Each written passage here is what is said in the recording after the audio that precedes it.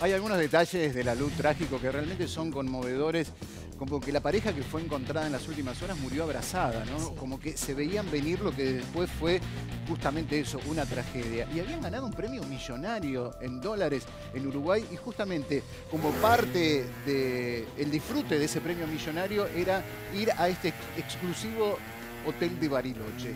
Y mirá cómo termina la historia, con ese alud que se mete en las habitaciones, en el hall, en varios sectores y termina aplastándolos. Bueno, estas imágenes son impresionantes, fueron Dani tomadas por el ejército argentino y literalmente dijeron tapada hasta el techo. Así quedó la habitación donde justamente encontraron el cuerpo de estos dos uruguayos. Vos lo decías, ¿no? Alba González Giovanelli y su esposo Orlando Casela.